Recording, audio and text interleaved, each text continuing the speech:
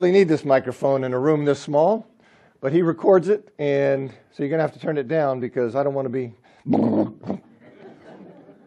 Because I've been known to get excited before. So, yeah, if I see any of you going like this, gotta make it stop. That'll be that'll be the uh, clue. I'm going to be looking with you this afternoon at a sermon that was delivered by the prophet Jeremiah. But before we turn to that, I want to remind you of something the Apostle Paul said about what we call the Old Testament. Paul said in Romans chapter 15, verse 4 For everything that was written in the past was written to teach us, so that through endurance and encouragement of the Scriptures we might have hope. So we certainly are under the new covenant, but the Old Testament remains the Word of God, and it speaks powerfully to us today. It just takes a bit more care and effort to hear its message correctly. Now, let me set up a little bit about the sermon that we're going to be looking at in Jeremiah chapter 7. As you may recall, the, the United Kingdom of Israel divided in 931 BC after the death of King Solomon. Israel was the northern kingdom, Judah was the southern kingdom. And in 722 or 721, the Assyrians they completed their conquest of the northern kingdom of Israel by capturing its capital city of Samaria and exiling many of its inhabitants. And that was the end of the northern kingdom's existence.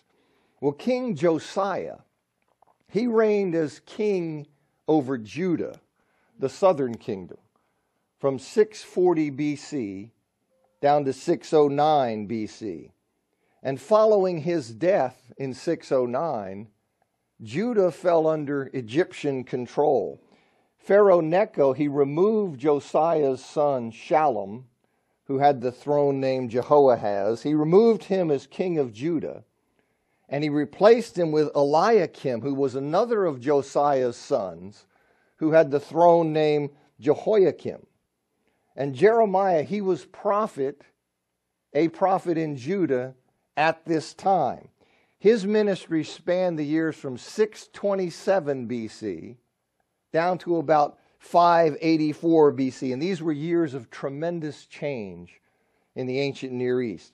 Now, the temple sermon in Jeremiah chapter 7 was delivered shortly after Jehoiakim had become king, had been placed on the throne by Pharaoh Necho. And that puts it about four years before the Babylonian king Nebuchadnezzar first came against Jerusalem and took tribute from the city in the form of people and various religious articles. You'll recall that Nebuchadnezzar in 605 when Nebuchadnezzar first comes. The sermon's in 609. Jehoiakim's on the throne. Pharaoh Necho puts him there. In 605, Nebuchadnezzar first comes, the Babylonian, and he takes tribute in the form of persons, religious items. He comes back eight years later in 597 and he captures the city.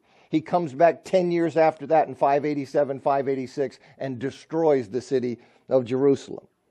Now, this sermon's probably delivered it's delivered in the gate to the outer court of the temple while pilgrims are thronging to this court during one of the three annual pilgrimage feasts, whether it was Tabernacles, Passover, the Feast of Weeks.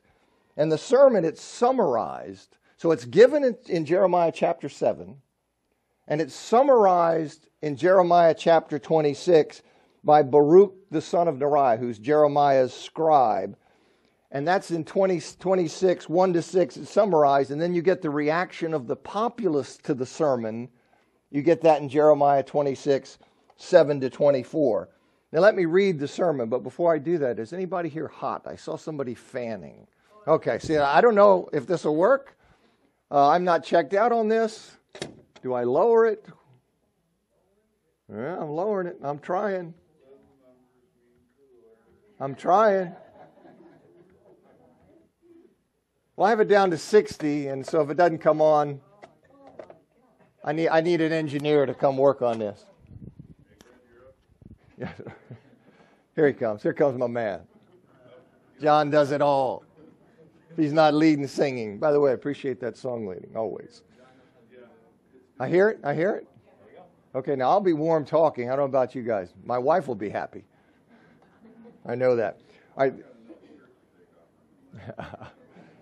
Let me read to you the temple sermon. I'm going to read it to you out of the NIV. Jeremiah chapter 7, verses 1 to 15. This is the word, this is the word that came to Jeremiah from the Lord. Stand at the gate of the Lord's house, and there proclaim this message. Hear the word of the Lord, all you people of Judah, who come through these gates to worship the Lord. This is what the Lord Almighty, the God of Israel, says Reform your ways and your actions, and I will let you live in this place. Do not trust in deceptive words and say, This is the temple of the Lord, the temple of the Lord, the temple of the Lord. If you really change your ways and your actions and deal with each other justly, if you do not oppress the foreigner, the fatherless, or the widow, and do not shed innocent blood in this place, and if you do not follow other gods to your own harm, then I will let you live in this place, in the land I gave your ancestors forever and ever. But look, you are trusting in deceptive words that are worthless. Will you steal and murder, commit adultery and perjury? burn incense to Baal and follow, follow other gods you have not known, and then come and stand before me in this house which bears my name and say, We are safe?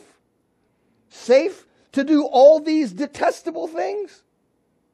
Has this house which bears my name become a den of robbers to you? But I have been watching, declares the Lord. Go now to the place in Shiloh where I first made a dwelling for my name and see what I did to it because of the wickedness of my people Israel. While you were doing all these things, declares the Lord, I spoke to you again and again, but you did not listen. I called you, but you did not answer. Therefore, what I did to Shiloh, I will now do to the house that bears my name, the temple you trust in, the place I gave to you and your ancestors. I will thrust them from my presence, just as I did all your fellow Israelites, the people of Ephraim. Now, this I hope I don't have to say, is a call to repentance. This is a call for them to stop doing what they wanted to do and to be the kind of people that God wanted and demanded them to be. Look what God's people had sunk to stealing, murder, adultery, perjury, and idolatry. They had chosen to ignore, just completely blow off their covenant responsibilities, and their hearts had become so hard that it didn't even bother them. It had simply become business as usual. And despite this, they fooled themselves into believing that nothing would happen to them. They convinced themselves that nothing would happen to them because God's temple was in Jerusalem. See, they thought that God's special identification with Jerusalem, which represented his presence with the people of Judah, that that would provide some kind of automatic or mechanical protection against any enemies. They lived in rebellion to God and thought they could count on God for protection. It's as though God's blessing or his protection, it had nothing to do with them. He would guard his turf. You see, God would guard his turf, and they would be the ancillary beneficiaries of God's territoriality. That's how they looked at it. This is the temple of the Lord, the temple of the Lord, the temple of the Lord. God's protection has nothing to do with me. That's what's behind verse 11. God is asking them, when He says, He's asking them if the temple has become a den of robbers to them. You see, mean, meaning a hideout, a haven for robbers, a place where robbers could feel safe from the consequences of their actions. We go out here and loot and do this stuff, and then we retreat, you see, to our den where we are safe. And this is what they're saying My temple has become a haven for sinners so that they think here they are protected from the consequences of their rebellion. And isn't that how some of us treat the church? See, that's, that's the thing that we have to see. How some of us treat the church. We see it as something that provides cover or safety, however we choose to live. We can live any way we want to, and as long as we have some connection and attachment to the church, well, that provides some kind of immunity and some kind of protection. We think that God's protection from judgment, it has nothing to do with our relationship with Him. That it has everything to do with where He placed His name rather than how we have personally responded to Him. And that's exactly the attitude that the Apostle Paul addresses in 1 Corinthians chapter 10, verses 1 to 5. He says there, he says, For I do not want you to be ignorant of the fact, brothers and sisters, that our ancestors were all under the cloud, and that they all passed through the sea. They were all baptized into Moses in the cloud and in the sea. They all ate the same spiritual food and drank the same spiritual drink. For they drank from the spiritual rock that accompanied them, and that rock was Christ. Nevertheless, Nevertheless, God was not pleased with most of them. Their bodies were scattered in the wilderness. Now, I don't have time to develop this, but this comes in here, uh, this chapters 8 through 10, 8, 9, and 10 of 1 Corinthians. There, Paul is dealing with Corinthians with Christians there in Corinth who were pushing to eat sacrificial meat in pagan temples. This is what these chapters deal with. You had people there who were saying it's okay for us to go and participate in these idol feasts that are held in these temples, which involve them, you see, in a pagan religious rite. And Paul spends these chapters telling them, no, you can't. You cannot do that. You can't engage in that. And in chapter 10, verses 1 to 5, the verses that I just read, Paul wants to remove from them any notion that their baptism and their participation in the Lord's Supper makes them immune or invulnerable to disqualification. His point is that their participation in those sacraments will not save them if they continue attending the meals at the idol temples. That they can't look to that and say, I'm immune. No matter how I live, I've been baptized and I share in the Lord's Supper that protects me despite how I live. And Paul wants the Corinthians to know that's not the case. He doesn't want them to be ignorant of the fact that all the Israelites, all of them, who came out of Egypt, they participated in a type of baptism. And they shared in a type of Lord's Supper. Yet, most of them were struck down in the wilderness. They had a type of baptism and a type of Lord's Supper. Did that make them immune? No. Most of them died in the wilderness. Now, the ancient Israel's deliverance from Egyptian bondage, it was finalized, as you know, by the passage through the Red Sea, a passage that began with their going under God's guiding cloud as it moved from in front of them, over them, to behind them, to separate them from the Egyptian army. You see that in Exodus chapter 14, verses 19 and 20. And Paul characterizes this water passage the cloud over, and then we go through the water. He characterizes this water passage here, this passage of deliverance, as a baptism into Moses, paralleling it to their baptism into Christ. After their baptism, all of the Israelites, all of them, shared in a type of Lord's Supper. They were sustained in the desert by food, by manna. They were sustained by drink, by the water that was supernaturally provided for them. And as you know, manna, that's the bread that God rained down, that He provided for the people of Israel during their wilderness period. He provided it for them during that time. You see in Exodus 16. And the drink refers to the water that's supernaturally provided for them at Meribah. You see that in Exodus 17 and in Numbers chapter 20. Now, the manna and this miraculously provided water, these were spiritual in the sense that they had a special spiritual significance. They signified the spiritual reality of God's provision for his people, and they served as a type or analogy of the Lord's Supper.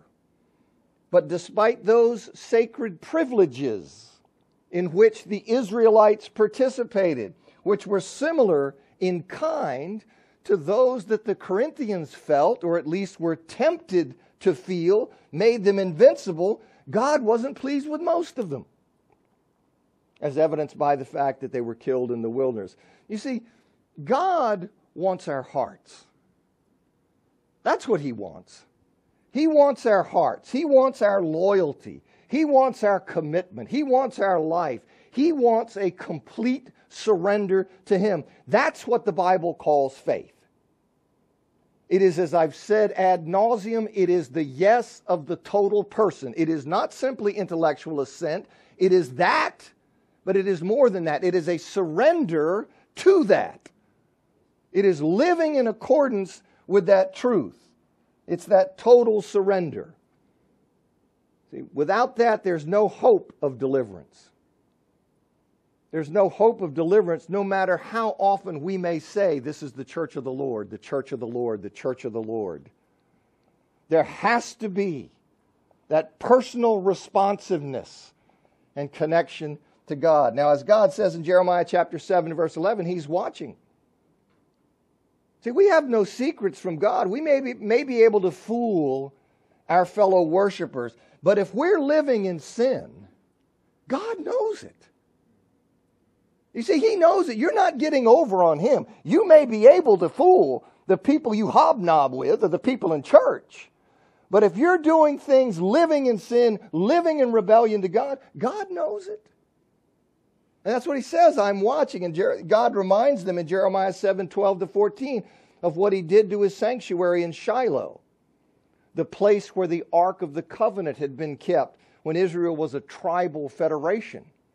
He reminds them what he did to that. That sanctuary had been destroyed, presumably by the Philistine army in 1050 after the battle that's described in 1 Samuel chapter 4. And that destruction is referred to in Psalm 78, 50, verses 56 to 64.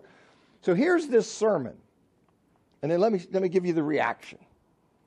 Here's this sermon that is preached in the temple while these throngs are coming in. Jeremiah 26, 1 to 6, probably is a summary of the sermon that's reported in chapter 7. The emphasis in chapter 7, 1 to 15, is on the content of the sermon. But the emphasis in chapter 26, that, that shifts and it focuses on the reaction of the people to that sermon. Jeremiah 26, I'll read 1 to 11.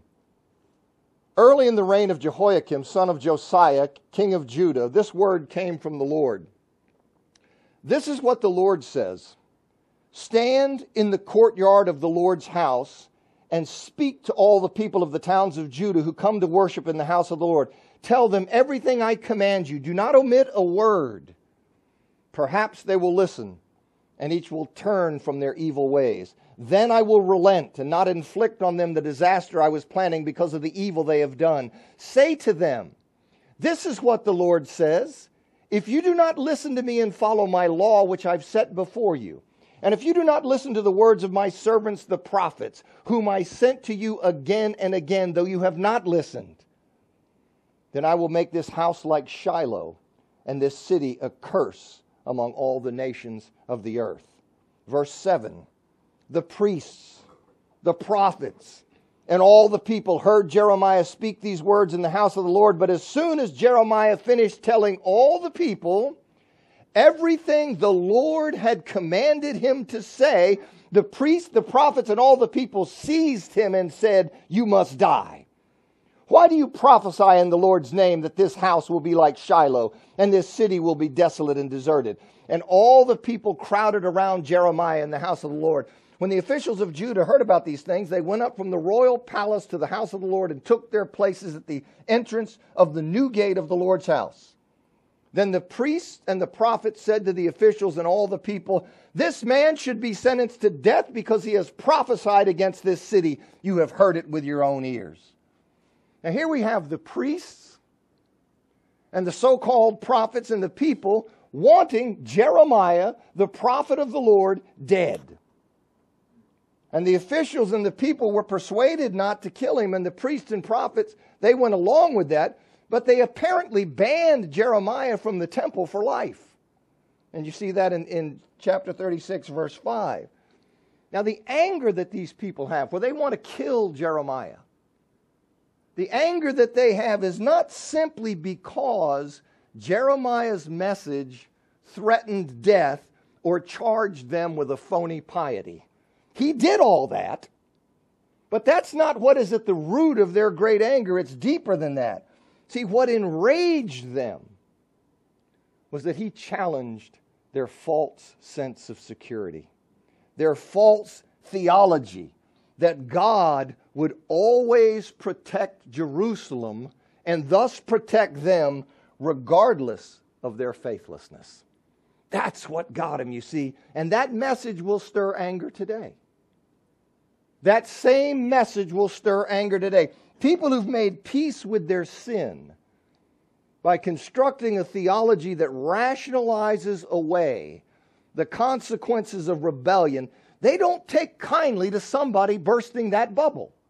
If I have constructed this theological bubble that makes me feel comfortable in rebellion against God, and you come along and say, that doesn't work. Well, people don't like that. Stripping away their false basis of contentment, it brings an emotional crisis. It brings them to a valley of repentance where they have to choose whether they love God more than they love their sin. And people don't like that. This is radical surgery, and though it's necessary for life, those who are facing that surgery are not always grateful for those who have exposed their need for it. And this is what you see here. They long for the peace that their delusion brought them. They long for that, and they can resent those who disrupted that peace, labeling, labeling them as negative, or labeling them as legalist, or labeling them as enemies of grace. But the call to repentance is a call to life. It is a call to life. And those who love their brothers and sisters will risk anger and resentment from them to bring them back to the safety of the Lord. And we must never forget that the God we serve is an awesome God. Awesome God who's worthy of our worship and obedience, and we must never turn the church into a den of robbers, a place where we think we can safely hide in rebellion. As Paul warned the Galatians in Galatians chapter 6, verse 7 and 8, do not be deceived. God cannot be mocked. People reap what they sow. Those who sow to please their sinful nature from that nature will reap destruction. Those who sow to please the Spirit from the Spirit will reap eternal life. There is no faith without surrender of the heart. And repentance is not something to be feared and not talked about and not, it is the way back to God. You see, if we leave people in their sin, we're not loving them. We are leaving them that way because we fear how, what they'll think about us. And we are better than that. We are called to be holy and loving of people, and we have to be willing to do that. Now, you know how we end sermons here in the church. If anybody has any needs, we're here. If we can help you with anything, uh, you come, you tell us, we'll share it with the community, pray for you. Uh, if anybody's here who's ready to put on Christ, we'll discuss that. That would be a joy. But do that while we stand and sing.